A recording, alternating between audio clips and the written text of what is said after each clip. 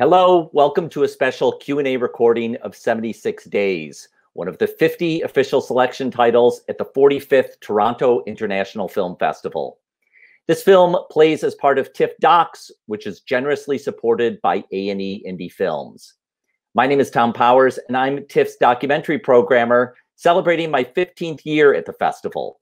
I'm honored to be here with one of the film's three directors, Hao Wu, who's joining me from Atlanta, Georgia. Thank you to our audience for being part of TIFF during these unprecedented times. We are grateful for your support to keep TIFF going for years to come. This film is eligible for the People's Choice Award.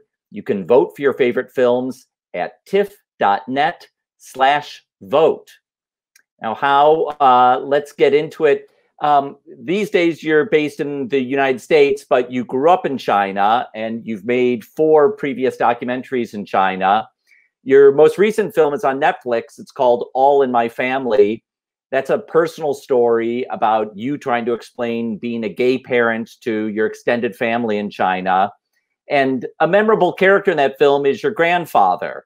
Um, and I know that this film, current film, 76 Days, kind of got started because you were making another trip to visit your grandfather in January. Can you explain the background to, to how 76 Days got started?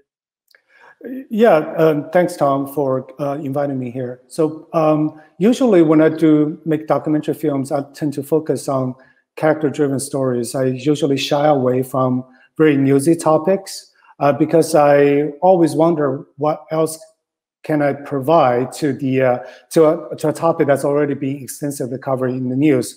But with 76 days, the whole journey, uh, filmmaking journey, has been extremely personal. So I flew back to China on January 23rd uh, to visit my family to spend Chinese New Year's with them. That was the day when Wuhan was put under lockdown. And now you were in Shanghai uh, visiting your family, am I right? That's correct. So um, my spouse and I were supposed to take my two kid, little kids to visit my family uh, in Shanghai because both my parents, uh, you know, were diagnosed with cancer last year. So I wanted to um, spend as much time with them as possible, especially being the younger ones.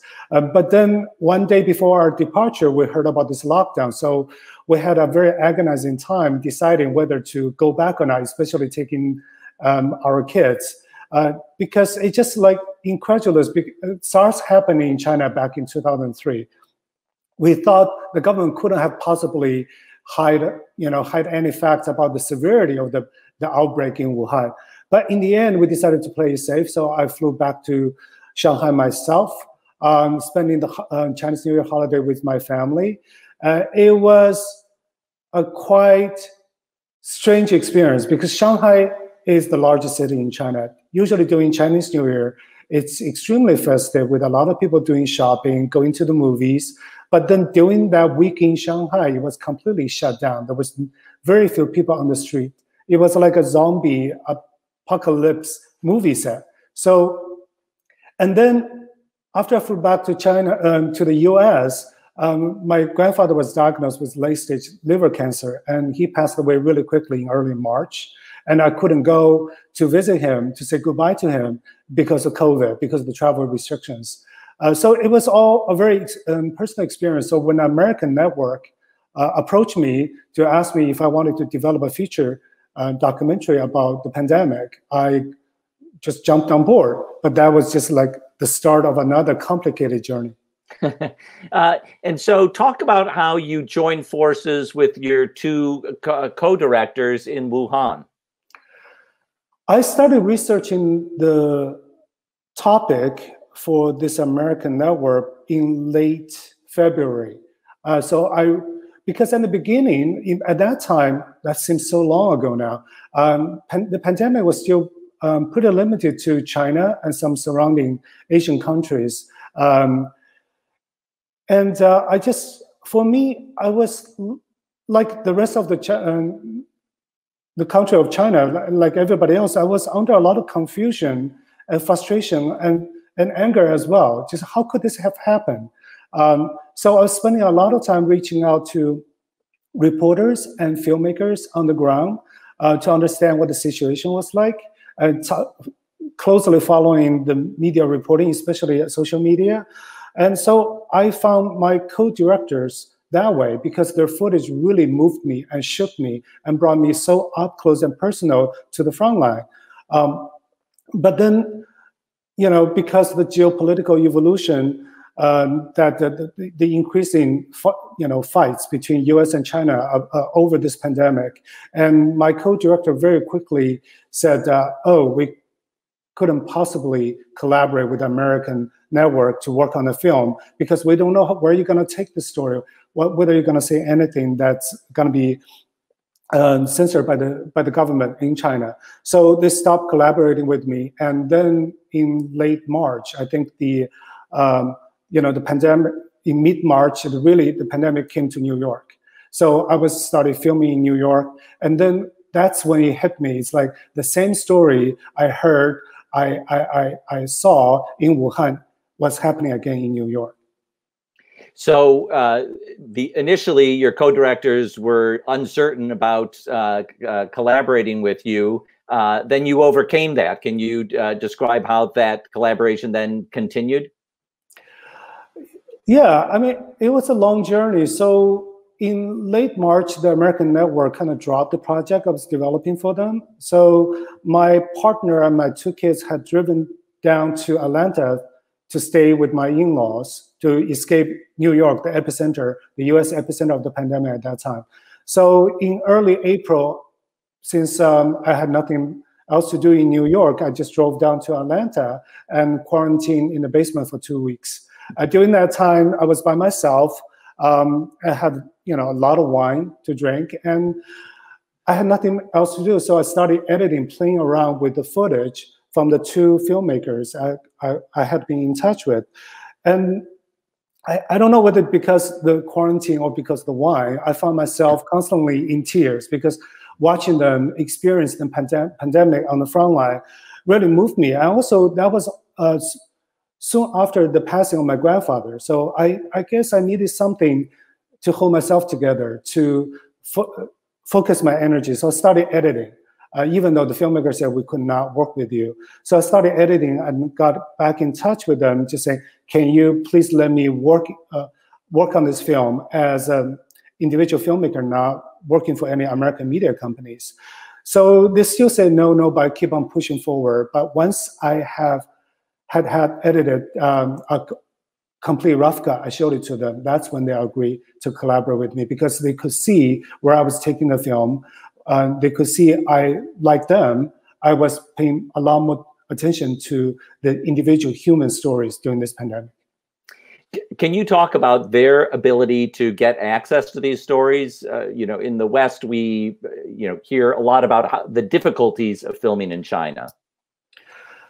Yes, I think it's not just difficulty filming in China because when I was trying to film in the US, um, in New York, to going to the hospital, it was extremely, extremely difficult. I think it, it would be more difficult here due to the HIPAA laws, right, in the US. Uh, so the, the, my two collaborators, Weixi Chen, he's a video reporter for Esquire China. So he was embedded with a medical team supporting a hospital in Wuhan. So he was filming there. He actually edited um, out a short, a 30 minute short uh, that's uh, uh, that's shown on, online in China. Uh, my other collaborator, Anonymous, um, he's a local photo journalist and working for a local publication. So he was there just taking photos, but then he realized, and very early on, photos could not do this justice. So he started filming for the first time uh, with these 5D, Canon 5D.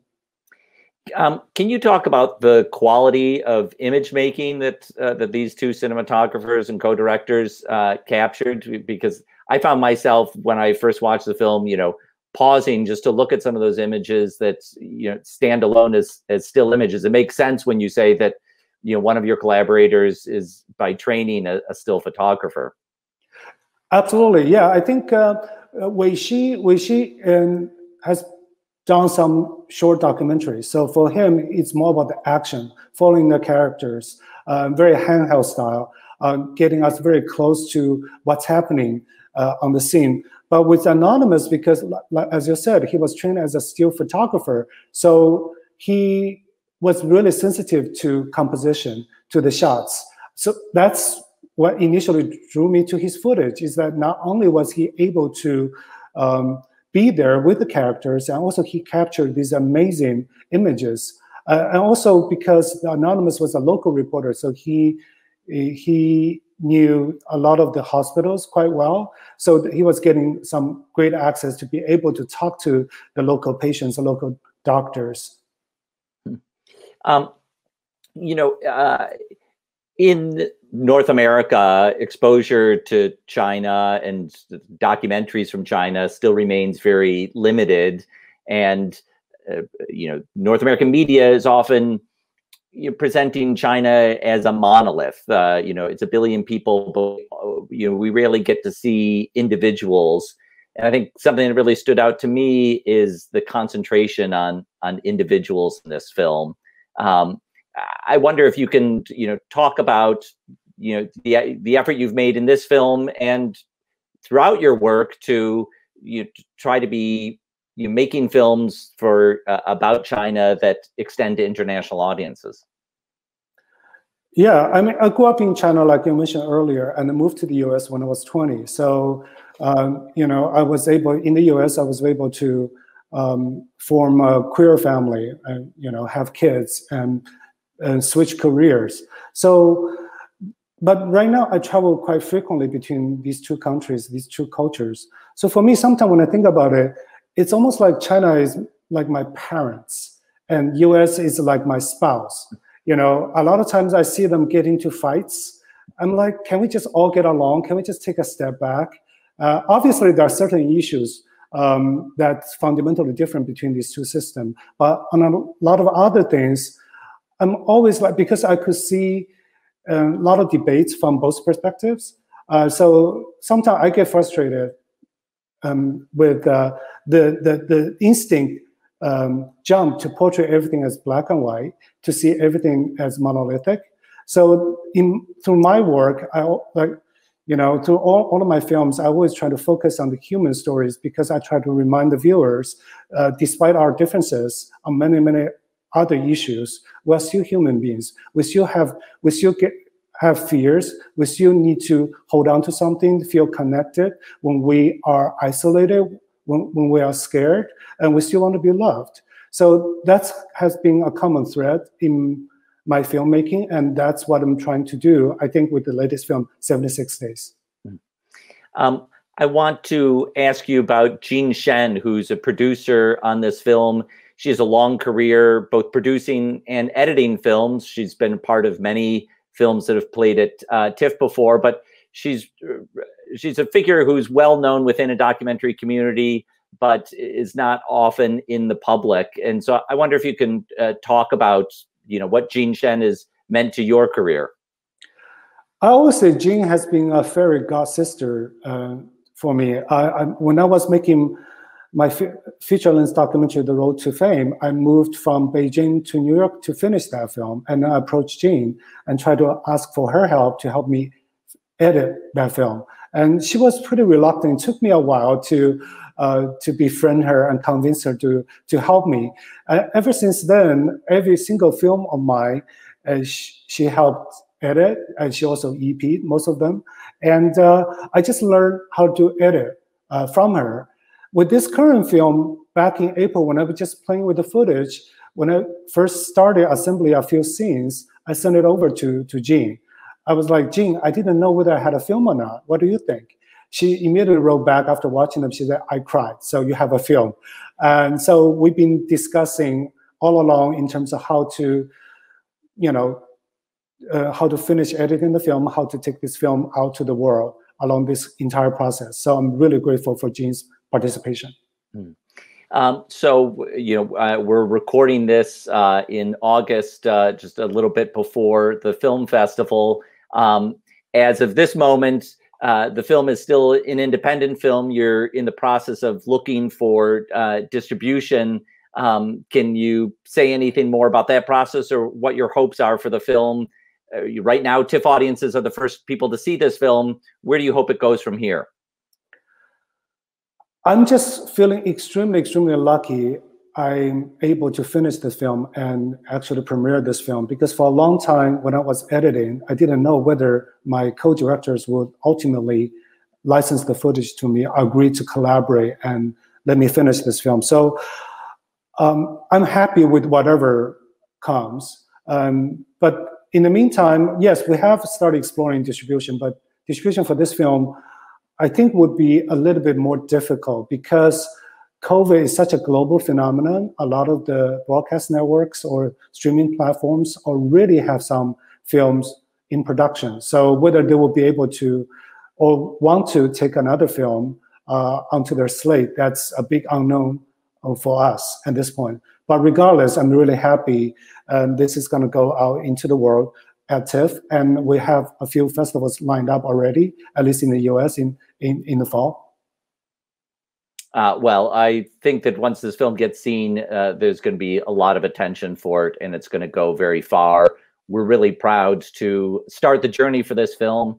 Thank you again, Hao, for being with us. Thank you, Tom. Thank you, TIFF audience.